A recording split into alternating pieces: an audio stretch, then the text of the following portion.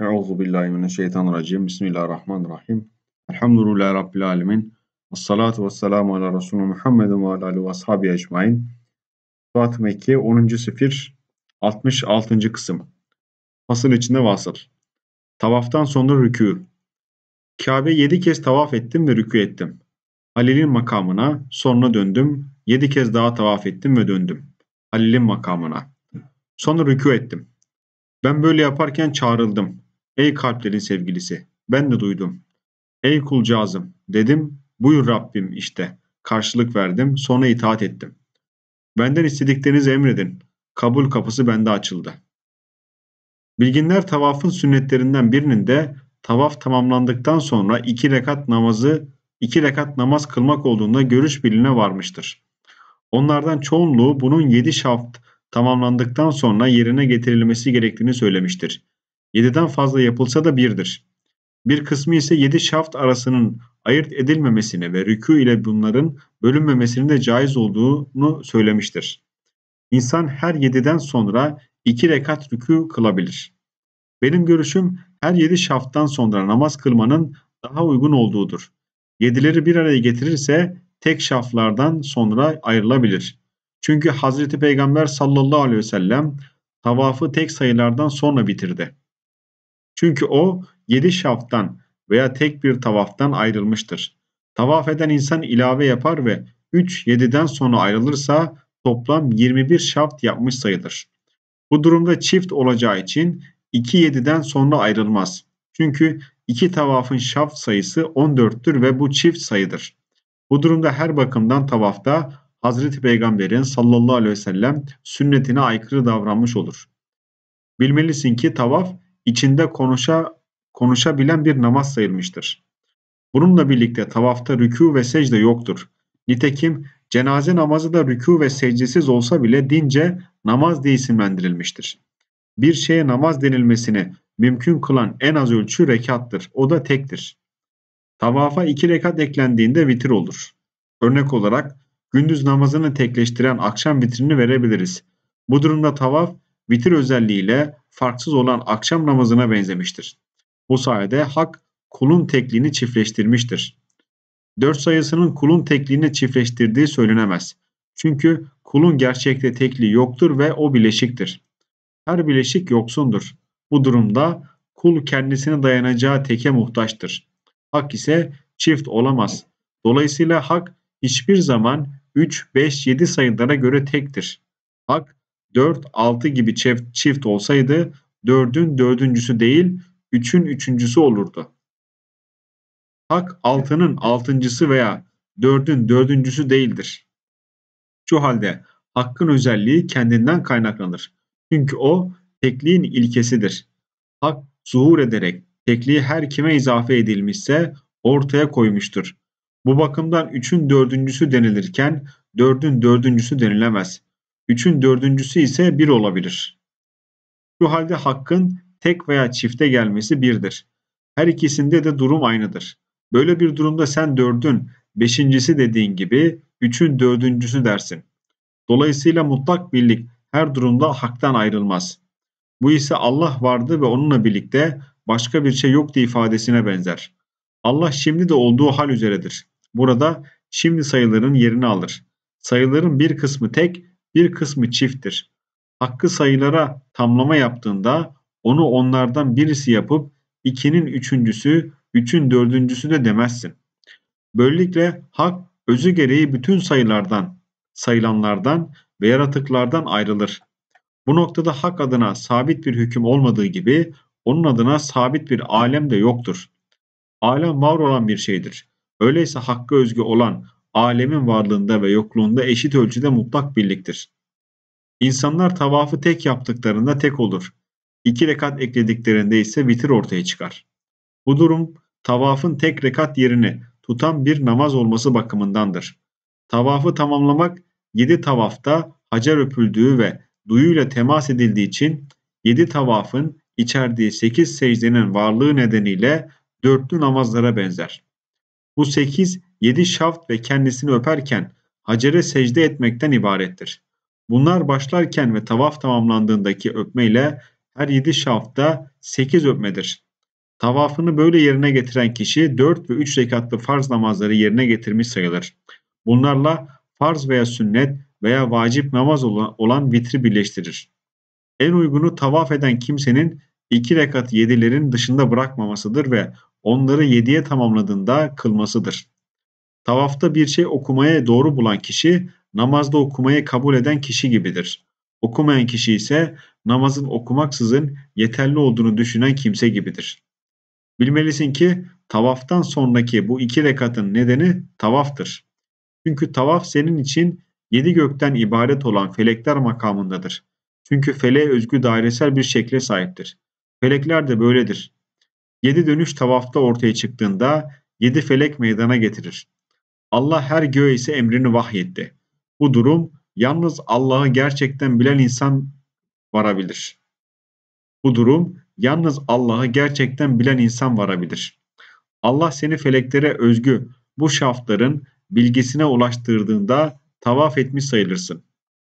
Allah göklerin hareketlerini ki onlar feleklerdir, kendilerinden oluşacak şeyleri yaratmada unsurlarda etkin yaptı. Sen ise dört karışımdan oluştuğun için bu durumda dört unsur sayılırsın. Bunların toplamı ise senin bedeninden ibaret olan duyusal varlığındır. Bu yedi feleğin hareketleri ise sende namazı meydana getirir. Namaz, feleklerin hareketlerinden doğan senin unsurlarından doğmuştur. Namaz ise iki rekattır. Çünkü oluşan yapı iki şeyden birleşiktir. Beden ve nefsin atıkah yani düşünen nefs, o ise düşünen canlıdır. Öyleyse birinci rekat senin hayvani yönüne, diğeri düşünen nefsine aittir. Bu nedenle Allah namazı yarısı kendisine, yarısına bu nedenle Allah namazı yarısı kendine, yarısına kuluna ait olmak üzere ikiye ayırdı. Allah bu yedi dönüşün her bir dairesel hareketine ait namazda bir etki yarattı. Böylelikle namazın onlardan meydana geldiği öğrenilir. Namazda yedi bedensel, yedi ruhani etki bulunur ki bunlar her yedi şaftın hareketlerinden oluşmuştur. Çünkü o kalıcı bir şekildir. Manevi feleği ise ancak varlıkların amellerden somut olarak yaratıldığını görenler görebilir. Namazın yapısındaki cismani yedi eser şunlardır. Birinci ayakta duruş, rükû, ikinci ayakta duruş ki rükûdan kalkış, secde, iki secde arasında oturmak, iki secde ve teşehhüd için oturmak ve bu hareketler esnasındaki cis, cisimsel zikirlerdir. Bu hareketler esnasında yapılan zikirler de yedidir. Bunlar ruhani etkiler sayılır ve böylelikle namaz tamamlanmış olur. İnsanın yapısında Allah'ın diğer yapısına üstün kılıp ayrıcalıklı hale getirdiği bir özellik vardır. Allah onu insanın bünyesine imam yaptı. Bu organ kalptir. Namaza da onun en yüksek yönünü teşkil eden bir özellik koydu. Bu ise namaz kılanın Allah kendisini öveni duydu dediği harekettir. Namaz kılan tıpkı bedeni yönetirken kalbin Allah'ın vekili olması gibi namaz kılarken bu övüşte Allah'ın vekilidir. Bu özellik namazın en şerefli parçasıdır. Çünkü o bir berzah mertebesinde Rabbini yüceltip eğildikten sonra ayağa kalkıştır. Bu ise namazın en üstün yönüdür. Çünkü o secde ile ayakta duruş arasında iki hakikati ve iki ucu kendine toplar. Bu nedenle o ayaktakinin hükmü ile secde edenin hükmüne sahiptir. Böylelikle iki hükmü kendine toplar. Devri hareketin namazdaki okumadaki etkisi yedilidir. Bu ise tavafın her bir şaftından ortaya çıkmıştır. Bunlar iki yediği yani sebi mesani okumaktır ki kastedilen Fatiha suresidir. Bu surenin sultanı ise ancak sana kulluk eder ve yalnız senden yardım dileriz ayetidir. Çünkü o Allah ile kulu arasındaki bir berzahtır. Dolayısıyla o da tıpkı bir sultan gibi toplayıcıdır. Ondan önce gelen kısım Allah'a özgü iken sonra gelen kısım kula özgüdür. Makamların en üstünü bir ilah ve meluhun veya Rab ve merbubun kabul edilmesidir.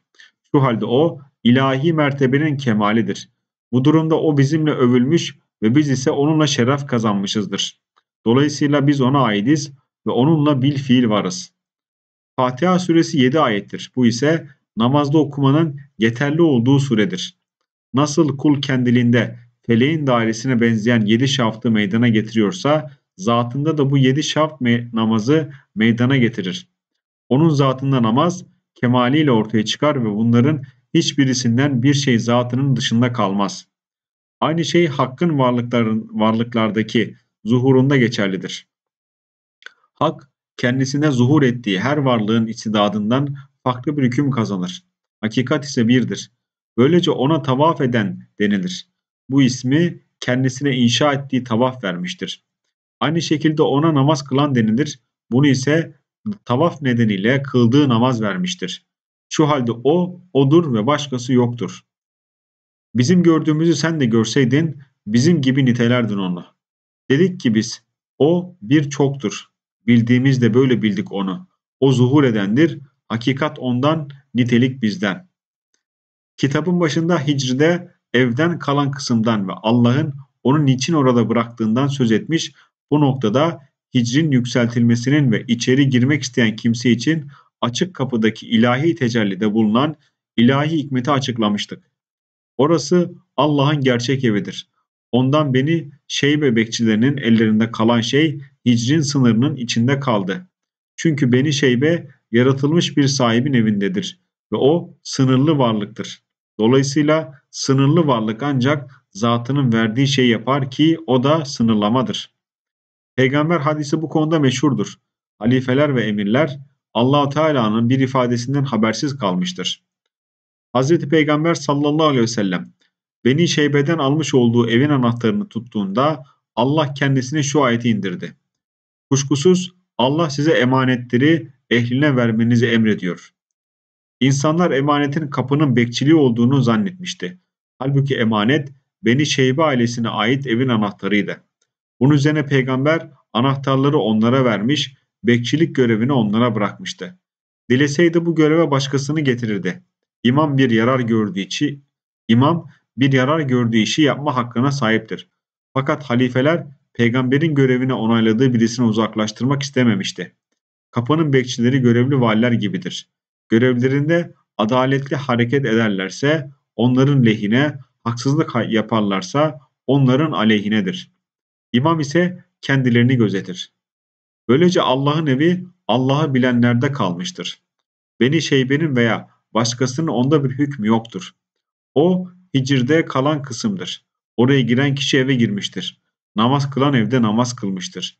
Nitekim peygamber müminlerin annesi Ayşe'ye böyle demiştir. Arifler beni şeybenin iyiliğine muhtaç değildir. Çünkü Allah hicirde ortaya çıkarttığı şeylerle onlara yeterlidir. Böylelikle Allah'ın mertebesi herhangi bir yaratığın bekçi olamayacağı kadar geniştir. Bilhassa hırs, başkanlık sevgisi ve öne geçme arzusuyla yaratılmış nefsler için bu durum geçerlidir. Kuşkusuz Allah haccacı Kabe'yi Hazreti Peygamber'in sallallahu aleyhi ve sellem ve dört halifenin döneminde olduğu haline döndürmeye muvaffak kılmıştır. Abdullah bin Zübeyir onu değiştirmiş ve hicri eve katmıştı. Bunun üzerine Allah işin bulunduğu hal üzere kalmasını sağlamıştır. Allah'ın bu konudaki hikmeti ise bilinmemiştir. Ali bin Cehim şöyle der. Hükümdarların kapılarında bekçiler vardır. Allah'ın kapısı ise sonuna kadar açıktır.